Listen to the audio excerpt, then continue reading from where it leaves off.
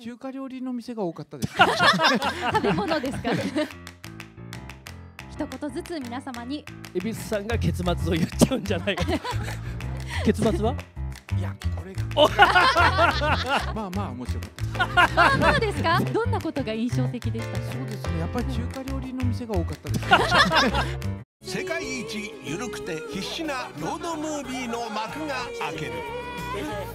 ローカル路線バス乗り継ぎの旅「ザ・ムービー」